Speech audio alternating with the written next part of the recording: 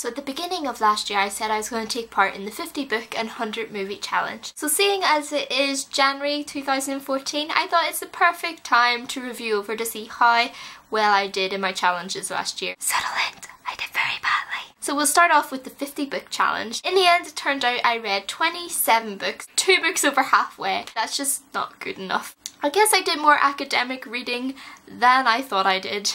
Which is a good thing, it meant I was studying, but I ultimately failed my challenge. Since it was a 50 book challenge, even though I didn't quite reach it, I thought that I would do my top 5 books of 2013. Before I begin, I want to say that these books aren't books that were published in 2013, but these are books that I just happened to read in 2013. Also, I want to give an honourable mention to Eleanor and Park by Rainbow Rowell. It was a fantastic book and if I could I would make it joint fifth place with the book I'm about to mention. However, I think the book that I'm about to mention kind of impacted me more emotionally and so I had to give it the place but if I could I would make Eleanor Park a joint fifth with it. So in fifth place we have John Green's The Fault in Our Stars. I'm sure most people have read this by now because it is becoming very hyped and very popular as it should with the movie coming out soon. Obviously people are going to start paying more attention to it. This is a very tragic romantic story following these two teenagers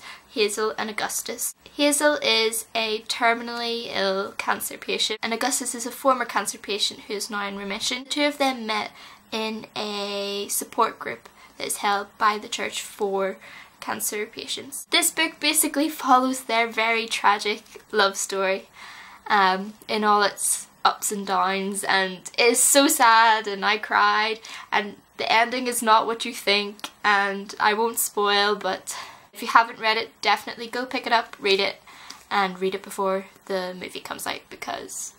In fourth place, I give it to The Cuckoo's Calling by Robert Galbraith, aka J.K. Rowling. Now, I'm not gonna lie, whenever I found out that J.K. Rowling had brought out another book but under a pseudonym, I was very, very, very nervous. I'm somebody that didn't like the Casual Vacancy. But this book was actually fantastic and it's going to be a series. This is a detective crime novel and it is about a detective called Cormoran Strike. Cormoran Strike is a war veteran and he was injured in action and basically part of this book is him building his life back together and then the other part of this book is that he is getting paid by the brother of a model who reportedly committed suicide. The brother doesn't believe that that is the reason and so he pays Cormoran Strike to find out the deep dark truth and this book basically follows to see was there something more sinister that happened. Admittedly it's a very slow paced book however the characters make this book. The characters are brilliant and interaction between characters is brilliant. I'm excited for the fact that this is going to be a series and I can't wait to read the next books in the series and definitely check it out if you like kind of crime, fiction, detective novels. It's a good one to go for. And then in third place we have The Ocean at the End of the Lane by Neil Gaiman and this book is just beautiful, fantastic, so dreamlike. I don't know if I can properly explain it. It's, it's so weird but fantastic and beautifully written. Basically there is a young boy and his life begins to change when his family start to come into financial difficulties and they have to let out the room in the attic which used to be this young boy's room. And one day they let it out to this man and that man while being at their house um, commits suicide. Since that point bad things start to happen and things start to go wrong. I couldn't ever begin to describe this book. It's just it's so it's weird. It's dreamlike and it has kind of creatures, almost alien-like creatures in it, but it is fantastic.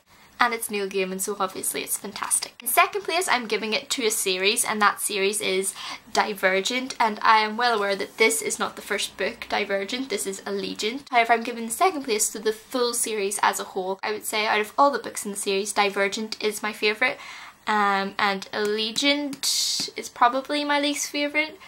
Um, however, I do not dislike this book as much as other people do. That controversial ending I thought was brave and I'm kind of glad that they went there. However, this book still destroys my soul. However, The series as a whole is fantastic, it is brilliant. It is a dystopian novel series, so obviously it's a fractured society. At a certain age, these young adults, teenagers decide whether to remain with their family or to break off into different fractions that are probably more suited to their personality. There's a corrupt society, an evil government, Big Brother syndrome and typical dystopia but fantastic. If you have not read the Divergent series, give it a try especially before the film comes out because it's probably so far one of my favourite dystopians that I've read.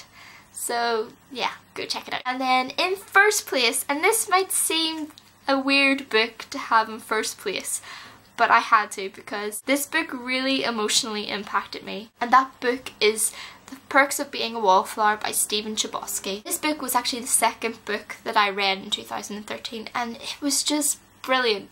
It was just fantastic. It's written kind of in letter style, which is weird because it's usually not a style of writing I'm particularly fond of, but I just it was brilliant. The protagonist in this book, Charlie, has such a tragic and traumatizing past and he's socially awkward and he doesn't have very many friends. But then all of a sudden he meets this group of people and all of a sudden he has this fantastic social life. There's something about the infiniteness in this book, like that quote, and in that moment I swear we were infinite. This book makes you feel infinite. While you're reading it, you feel infinite, but then also afterwards you kind of have I want to have that infinite moment. When can I have that feeling of infinites? So mm, I just love this book. And it's a very short book, so you have no excuse to not read this book. So go check it out. So now that we have the books covered, we will go on to the 100 movie challenge. This is a very complicated. I know exactly how many films I've seen in the cinema. I've seen 29 films in the cinema. I know that because I collect cinema stub. However, watching films at home is a bit of a unknown ground. It's a bit blurry because I don't quite have the same record. I should have made detailed notes but roughly I've worked it out about 40 to 50-ish movies at home. So altogether I watch somewhere between 70 and 80-ish films. So ultimately I still failed the 100 movie challenge, however not by as much as I failed the book challenge. I like to think. Because it was a 100 movie challenge I decided that I would whittle down that list to my top 10 favourite movies of 2013. So in at number 10 we have The Hobbit An Unexpected Journey which is the first movie in the Hobbit series. I'm very well aware this came out in 2012 however I only saw it in the beginning of 2013. I thought it was brilliant. Obviously it is the movie adaptation of J.R.R. Tolkien's The Hobbit and I know the second film is out and all, but I haven't seen it yet. I'm hoping to see it soon and I can't wait because it was brilliant. And it is the journey of the lifetime of Bilbo Baggins, if you needed any further explanation. In at number 9 we have Saving Mr. Banks and I'm so glad that this is in my list. This is the story of P.L. Travers, the author of the Mary Poppins novels and the pursuit of Walt Disney in trying to get the rights to Mary Poppins to make it into a film. To her, Mary Poppins is something so special, so precious and intimate to her that she doesn't really want Walt Disney messing with something that is that important to her. It is such a touching and moving story. It is beautiful, it is sad and definitely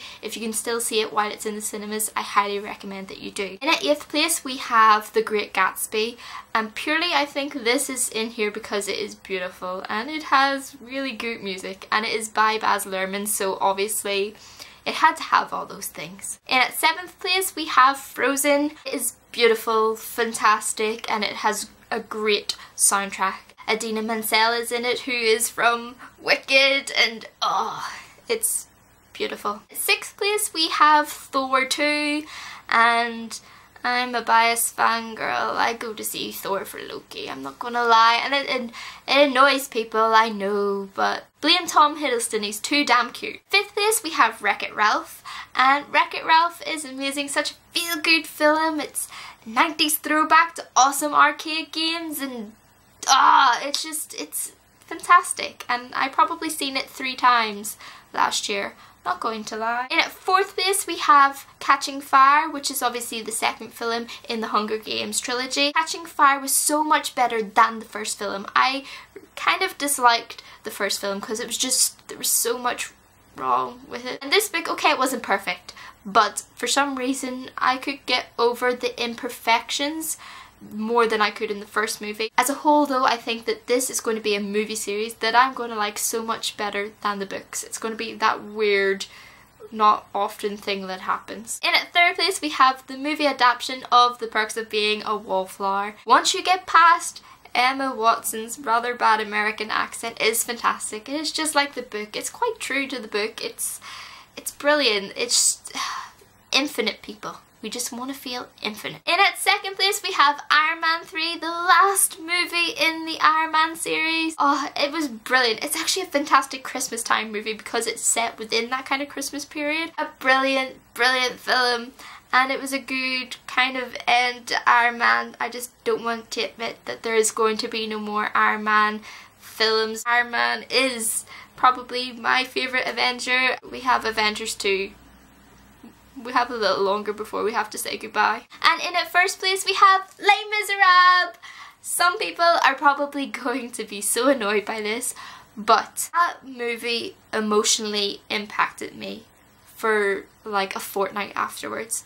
Sounds weird, but so true. I am a musical girl and I love the stage version of Les Miserables and I know some people that like the stage version of Les Miserables didn't like the film, but I got past that because it's beautiful, the music's fantastic, obviously. It's got Hugh Jackman, and the fact that they were singing live when it was recorded is brilliant. Okay, we can kind of get past Russell Crowe singing. and local interest in it of Raffi. I cried during it I was emotionally scarred for two weeks after and I don't see how a film could emotionally impact me that much and not be in my first place. I love it so much that I may also have the DVD and the CD which for some reason I haven't taken out of their wrapping shit but doesn't mean that I haven't seen this more than once. So that is it for my top 10 movies of 2013 and I hope there isn't too much controversy in there. Please note that there are some things that didn't quite make the list that were fabulous like The Wolverine, The Heat was actually a great comedy, The Conjuring was actually a very good kind of um, scary film. And also take it into consideration that basically if I haven't mentioned an animated film I still loved it, like particularly Despicable Me 2. It was fabulous. To be honest, if I could give it a tie with Frozen, I probably would. I just didn't want to put too much animated films into there. So that's why I didn't mention it, but uh, actually I feel like I should. Can Despicable Me 2 be in the list too? I'm having controversy of the heart. Most animated films this year were fantastic. Everything was fantastic. I've seen very few bad movies this year. And that is it for a review of how I did in my challenges this year. Um, yeah, I failed both of them. This year I am again taking part in the 50 book challenge and the 100 movie challenge because I'm a sucker for punishment and I don't like admitting defeat. So leave down in the comments below what your top book was of this year and what your favourite film was. If you liked this video please give it a big thumbs up and if you particularly liked it you could also subscribe and join the family. We'll see you in my next video guys. I feel like I'm cheating on my fandoms. It's like we've got Marvel up top, DC on the bottom. We'll just ignore the fact that I danced in my pyjama bottoms. We'll ignore the fact that it's 3 o'clock in the afternoon and I'm still wearing pyjama bottoms.